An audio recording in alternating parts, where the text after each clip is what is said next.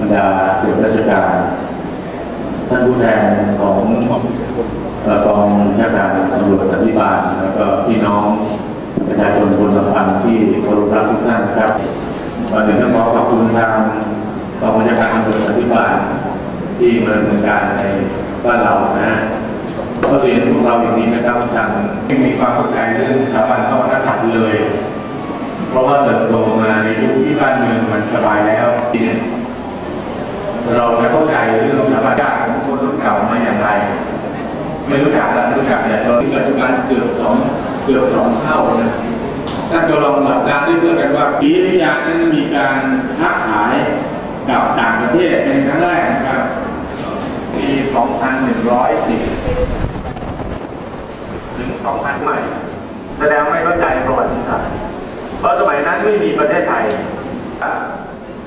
จากความร้าวฉานในแผ่นดินของคนไทยที่รบราที่ทะเลาะกันยุแยงกันใครรู้ไหมสองสามหนึ่งศูนย์เนี่ยเมื่อกรุงศรีอยุธยาแตกเขาเจ็ดในลาวก็เช่นเดียวกันเกิดสงครามแย่งชิงประชาชนเหนือใต้รอบรอบแผ่นดินที่พระเจ้าแผ่นดินสร้างถ้าเราพระนครเห็นที่ที่เราได้ที่ชมคนเพื่อแรกกับจันทบุรีสามถ้าเราไปเอาทัศบอง ลือดผิวเลือดผิวลงบนไว้เนี่ยมันมีแต่แผ่นดินไม่มีอะไรมากมาสิ่งเหล่านี้คนจังหวัดตาดไม่รู้เลยแล้วผมไปนั่งคุยกับพวกจังหวัดตาดยังไม่รู้เลยทำไมพระเจ้าแผ่นดินเราที่อย่างนั้นแต่ถ้าเรารู้ความจริงเราจะมองว่าพระเจ้าแผ่นดินเราฉลาดมากนะตรงว่าให้รู้จักสองคำนี้ที่ในเพราะนั้นเวลาแปดโมงครึ่งก็ต้องมาแปดโมงครึ่งทำงานจากพ่อแม่เพื่อนพ้องน้องที่ที่ทำงานอยู่แผ่นดิน วันนี้เรามีเบอร์นะครับจะมีหน่วยทหารที่ช่วยท่านอำเภอทำงานอยู่ในพื้นที่นะครับคือเราก็รู้สึกพื้นที่เสียงแข็งต่อความรักษามากขึ้นวัดได้จากรับการสอบถามหรือผลสำเร็จของการอบรมแล้วเนี่ยบางคนจะร้องไห้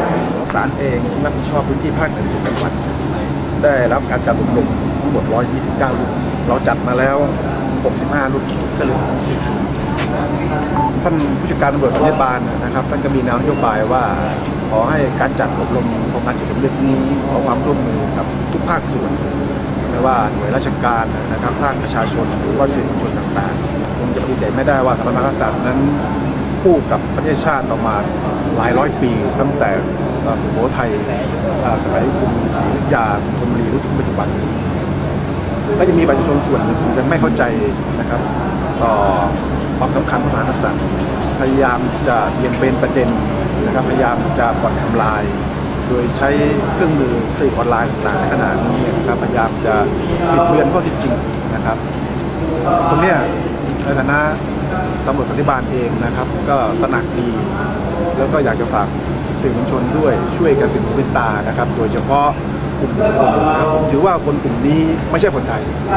นะครับกระทำการมิอาจสมควรอย่างยิ่งถ้าเป็นสมัยก่อนผมถือว่าประหารชีวิตเจ็ดชั่วโคตร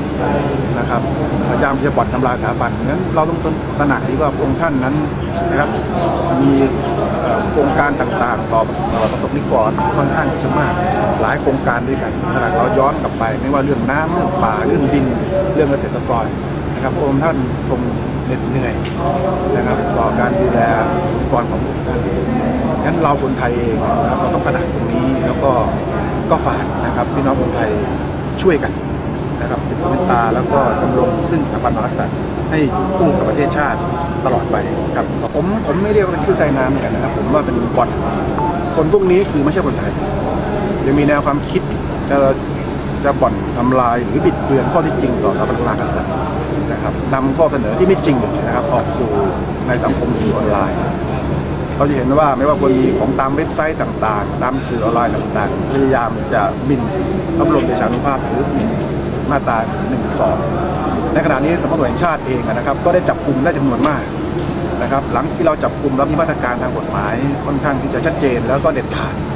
เลยทำให้กลุ่มพวกนี้นะครับในขณะนี้บางส่วนที่หลบออกไปอยู่ต่างประเทศนะครับทำเว็บไซต์ส่งเข้ามา และมีการเผยแพร่เฉพาะกลุ่มสังเกตนว่าหลายครั้งเราจับกลุ่มได้ตำรวจผู้ชาติเองกรมสันติบาลเองก็ประสานงานกับข้อมูลท้องถิ่นกับทางฝ่ายปกครองช่วยบูรณาการโดยเฉพาะขนาดนี้ทางทหารเองนะครับ ก็มีความห่วงใยเรื่องนี้ แล้วก็คงใช้มาตรการขั้นเด็ดขาดต่อผู้กระทำความผิด